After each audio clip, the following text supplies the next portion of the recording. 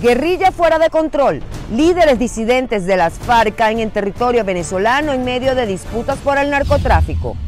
Tragedia en Perú. Dos niños venezolanos mueren en incendio mientras sus padres trabajaban. Presumen robo. Una mujer estadounidense fue asesinada en Boca de Uchira, estado Suátegui. Lapidario, rector del CNE advierte sobre conspiración en caso electoral de Barinas. Cuenta regresiva, Alejandra Conde deslumbra en Puerto Rico y va por la corona del Miss Mundo 2021. Comenzamos. Saludos amigos, bienvenidos a Noticias Impacto Venezuela de este miércoles 8 de diciembre del 2021. Quien les acompaña, Mildred Manrique. Antes de comenzar con nuestro recorrido informativo, quiero invitarlos a que se suscriban a nuestro canal de YouTube y le dé clic a la campanita de notificaciones para que siempre estén al día con todo nuestro contenido. Ahora sí comenzamos. El director general de la Policía Nacional de Colombia, Jorge Luis Vargas, aseguró que existe una alta probabilidad de que el líder de la disidencia de la FARC, Hernán Darío Velázquez Saldarriaga, mejor conocido como el Paisa, haya muerto en Venezuela.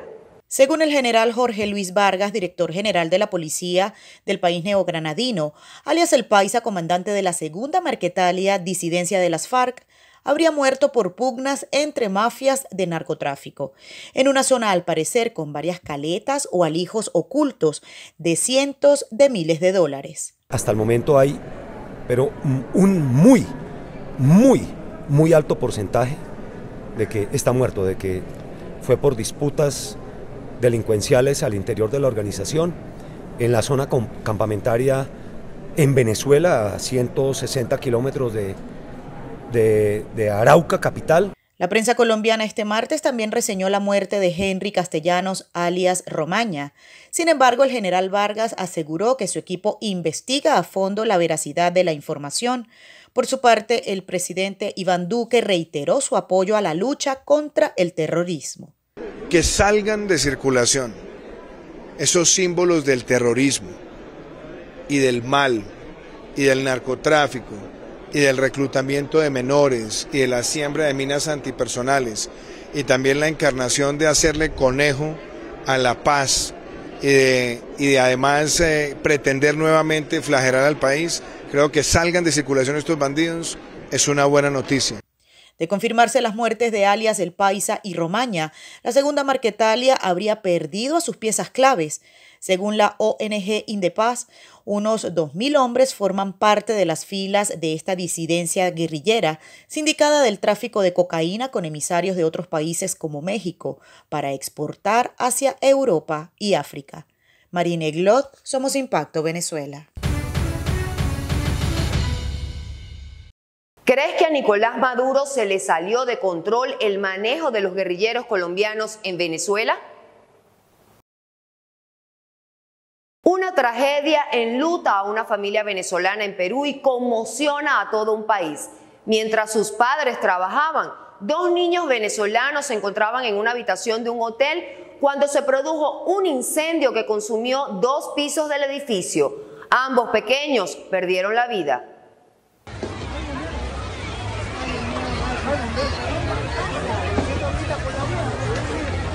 Según el diario Correo del Perú, el siniestro comenzó en el Hotel Tiki Guasi, ubicado en la zona veraniega de Máncora, en la región de Piura. Luego se expandió al Hotel Flamingo y Hotel Baco.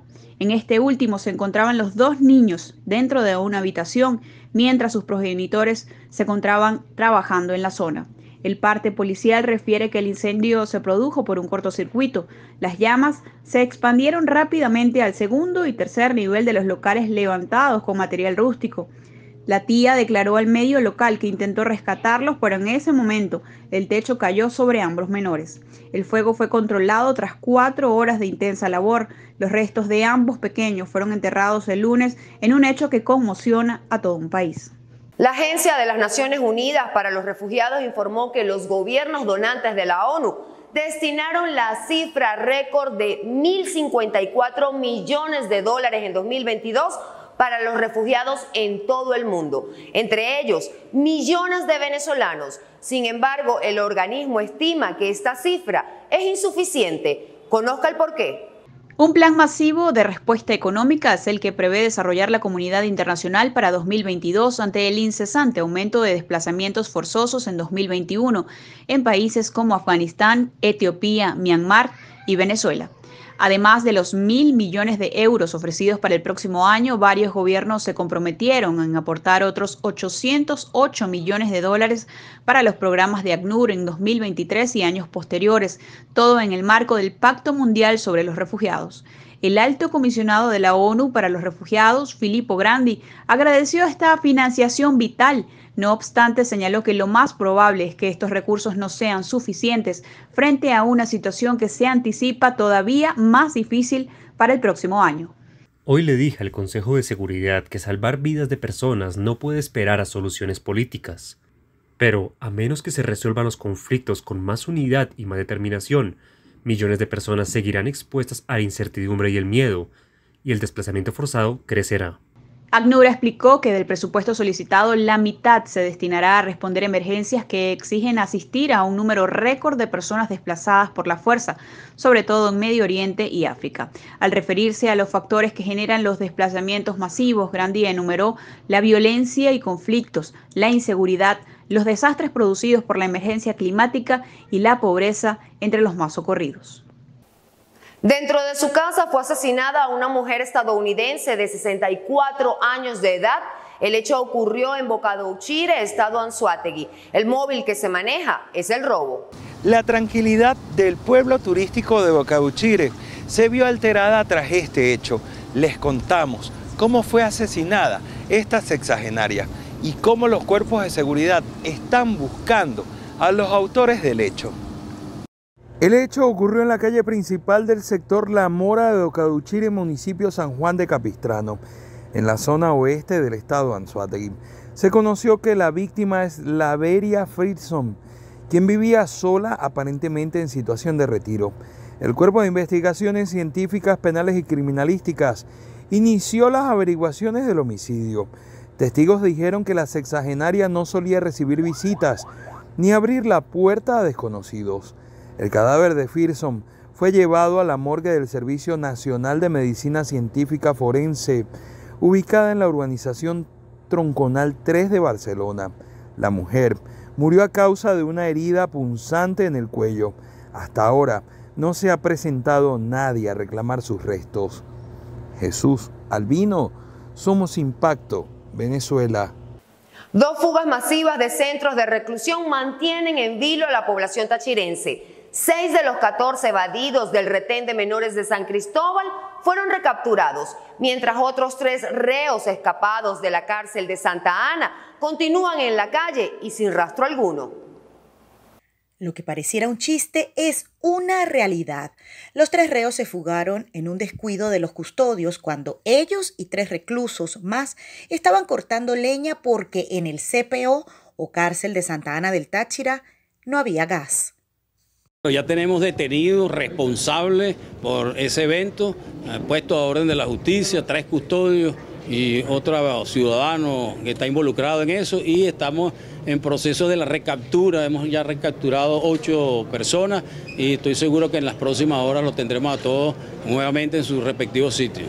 Amigos de Impacto Venezuela, con relación a la fuga masiva hace algunas semanas en el retén de menores de la avenida 19 de abril, seis jóvenes ya fueron recapturados en el municipio Junín y fue detenida una mujer que aparentemente les ofrecía alimentos e hidratación en la zona montañosa del municipio Junín donde fueron hallados. En torno a esta situación y que faltan otros ocho reos por ser recapturados, reina el temor en la población del municipio San Cristóbal muy peligroso, sobre todo para los jóvenes que están en la calle, que, no ven el peligro, ¿sí? No miden cuando están en la calle que te puedas conseguir ese tipo de personas que es bastante riesgoso para, para todos, para los adultos también, pero digo más los jóvenes que son los que menos se cuidan en estas situaciones. ¿Y la exigencia es que se les dé captura? Por supuesto, sí, que le hagan el seguimiento a eso y, que los capturen para, y que tienen que estar donde deben estar. Aunque no toda la población de la ciudad capital está al tanto de las dos fugas de presos, registradas en las últimas semanas en Táchira. No les sé decir, no, no tengo información de eso. Ay, no les sabría decir, no sé. PNB, FAES, Guardia Nacional, CICPC y Politáchira permanecen desplegados para dar con el paradero de los reclusos evadidos del retén de menores y del CPO. En Táchira, Marineglot, somos Impacto Venezuela. El rector del CNE, Roberto Picón, no solo se refirió a una presunta conspiración para afectar los resultados de los comicios en el estado Barinas, sino que denunció el secuestro de las atribuciones del poder electoral y la inexistencia de la separación de poderes.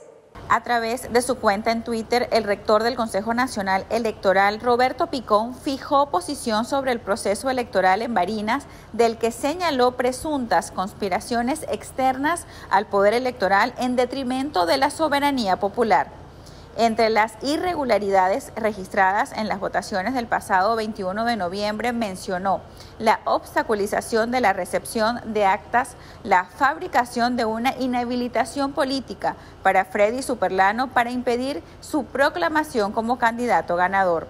Picón también se refirió al Poder Judicial al que acusó de secuestrar las atribuciones del Consejo Nacional Electoral.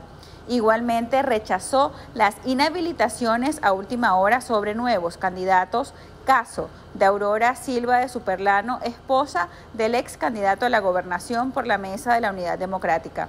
El rector igualmente recordó el derecho a la protesta e informó que este lunes concluyó el periodo de postulaciones para las nuevas elecciones fijadas para el 9 de enero del 2022. Para finalizar, reiteró las plenas garantías que ofrece el poder electoral a los barineses. El CNE organizará estas elecciones con las mismas garantías técnicas que establecen sin duda que el voto es secreto, automatizado, que se cuenta sin intervención de terceros y que el sistema de capta huella garantiza el principio de un elector, un voto. La elección del 9 de enero contará también con la participación de seis organizaciones nacionales de veeduría electoral que ya participaron el 21 de noviembre. Picón no dudó en calificar que lo ocurrido en Barinas en los comicios regionales constituyen un retroceso para el país. A mi Torres, Somos Impacto Venezuela. La Asamblea General de la ONU aprobó una resolución que confirma las credenciales recibidas este año por los Estados miembros, entre las cuales se encuentran, escuche bien, las de los diplomáticos designados por la administración de Nicolás Maduro. Una nueva noticia parece golpear fuertemente las bases del gobierno interino de Juan Guaidó. Se trata de la presunta aprobación de las credenciales diplomáticas de los representantes de la administración madurista ante la ONU. Agradecemos a los Estados miembros de esta Asamblea por aceptar nuestras credenciales, rechazando las agresiones coloniales contra nuestro país y reconociendo la voluntad de nuestro pueblo. En otro tuit, el embajador del chavismo aseguró que solo 16 de 193 países desconocieron la administración de Nicolás Maduro. Durante su intervención, Moncada también exigió la no intervención de los Estados Unidos en los asuntos internos de Venezuela. No existe en el derecho internacional norma que permita al gobierno de los Estados Unidos de América y sus aliados involucrarse en los asuntos internos de la República Bolivariana de Venezuela o de cualquier otro país, desconociendo la soberanía de su pueblo y la autoridad de sus legítimos representantes. Ante la noticia, la vicepresidenta de la administración madurista aseguró que el supuesto entramado antijurídico dirigido por los Estados Unidos solo busca despojar al pueblo venezolano de su patrimonio y asaltar el poder político en Venezuela. Sandino Ignacio Yaguare. Somos Impacto Venezuela. Los reclamos e irregularidades en torno al proceso electoral del pasado 21 de noviembre no cesan. En esta oportunidad fue el ex candidato a la gobernación del estado Lara, Henry Falcón, quien acudió a la sede del Tribunal Supremo de Justicia afín al chavismo para interponer un recurso de nulidad de los comicios en esta región fundamentado en los argumentos que esgrimió el Tribunal Supremo de Justicia para anular la elección en Barinas mediante la sentencia 79 del 29 de noviembre de este año, el ex gobernador Henry Falcón exigió la nulidad del proceso electoral en Lara y llamó al ente judicial a ser coherente. Pedimos que así como fue declarado nulo el proceso electoral en Barinas, sea también declarado nulo el proceso electoral del Estado Lara. Falcón se refirió a los supuestos vicios que se habrían registrado en el proceso electoral arense y que llevarían a la nulidad de la elección. Hace imposible determinar la voluntad general de los electores. Es el caso del 215, pero el caso del artículo 216 de la misma ley amplió el supuesto de hecho que también conlleva la nulidad de la elección. Tras leer parte de la sentencia de la sala electoral, reiteró que, tal como ocurrió en el estado Barinas, en Lara es imposible determinar la voluntad general de los electores. La elección será nula cuando el órgano judicial electoral correspondiente determine en la elección realizada que ha sido imposible determinar la voluntad general de los electores. Ami Torres, Somos Impacto Venezuela. Comerciantes de la región centro-norte del país expresaron preocupación ante las bajas ventas registradas hasta el momento en todo lo relacionado a jugueterías, artículos de Navidad e ingredientes de la cena navideña. Gracias. Como el señor José, miles de comerciantes se han preparado para estas navidades y aunque gozan de buen precio y variedad, las ventas no han sido las esperadas. Nosotros aquí siempre habíamos tenido cinco empleados a medio tiempo. Y en estas épocas, en esta fecha, eh, metíamos dos o tres más a tiempo completo todo el mes de diciembre. Inclusive teníamos que poner un muchacho de seguridad porque estuviera pendiente de la puerta. Y bueno, fíjate, eh, en esta fecha no tenemos ningún trabajador. Pero no solo es ropa y juguetería.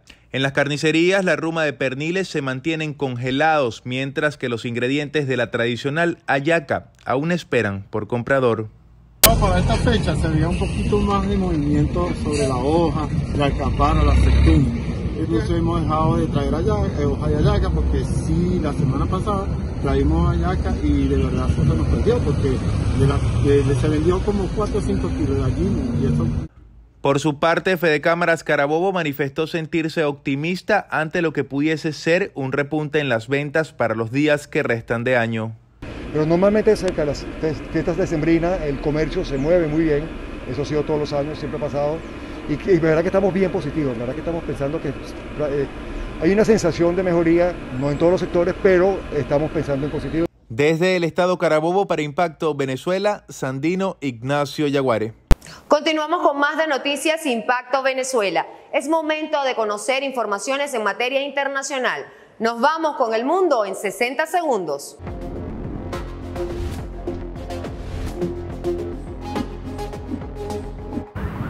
Bienvenidos al mundo en 60 segundos. Una cicatriz habría permitido identificar el cuerpo de alias Romaña, quien murió al parecer en una emboscada contra alias El Paisa en Venezuela. El prófugo de la justicia había dicho antes de abandonar el proceso de paz que a la guerra no volvería jamás. En Indonesia aumentó el número de muertos a más de 34 por la erupción del volcán Semeru en la isla de Java. Las autoridades calculan que 1.700 personas desalojaron el área y que más de 3.000 casas resultaron afectadas por la lava y la ceniza. El Papa Francisco está generando polémica en todo el mundo al afirmar que los pecados de la carne no son los más graves, al defender al arzobispo de París Michel Aupetit acusado de mantener relaciones con una mujer. Sin embargo, sus palabras fueron entendidas como una manera de minimizar la gravedad de los abusos de los integrantes de la Iglesia Católica contra los niños. Hasta aquí el mundo en 60 segundos. Los invitamos a que nos sigan en todas nuestras redes sociales. Con ímpetu y confianza, Alejandra Conde sigue dejando las mejores sensaciones en su estadía en Puerto Rico de cara al Miss Mundo Edición 2021. Esto y mucho más con Bárbara Orozco en nuestra sección de espectáculos. Cada presentación de Alejandra Conde es mejor que la anterior. Su belleza, ímpetu y seguridad nos hace soñar con la corona del Miss Mundo. No cabe duda que ya es toda una reina y que brilla en cada una de sus actuaciones. Pero mejor, véanlo ustedes mismos. Elegancia, frescura, belleza, confianza. Esas son algunas de las cosas que nuestra Alejandra Conde transmitió en su competición del desfile Top Model en el Miss Mundo. Con una pasarela impecable, Conde se prepara para la gran noche final que se celebrará el 16 de diciembre en Puerto Rico. Por otra parte, el ex cantante de la agrupación RBD, Poncho Herrera, reveló que se divorciará del arquitecto Diana Vázquez. El también actor emitió un comunicado y aseguró que sería el único momento en el que hablaría de su separación. Asimismo, detalló que la madre de sus hijos y él hace un tiempo decidieron tomar caminos por separado. Agregaron que por lo pronto estarán unidos para seguir educando y formando sus hijos. Y cambiando de tema, el animador venezolano Daniel Sarcos es el nuevo presentador del MasterChef República Dominicana en su cuarta temporada. A través de su cuenta en Instagram, el criollo dio a conocer la buena noticia. Daniel sustituirá el lugar de Juan Estrella, conductora del programa. La reconocida chef Catherine Lemoyne será la nueva integrante del jurado junto a Chef Tita y Leandro Díaz, dándole un nuevo aire a la producción que lleva cuatro años de transmisión ininterrumpida. Y con esta noticia nosotros llegamos al final del segmento de entretenimiento. Los acompañó Bárbara Orozco, Somos Impacto Venezuela. Llegamos al final de Noticias Impacto Venezuela de este miércoles 8 de diciembre del 2021. No olviden que también tenemos disponible un portal web para ustedes www.impactovenezuela.com y nuestras redes sociales arroba impactove. En nombre de todo el equipo les damos las gracias por acompañarnos. Nos vemos mañana.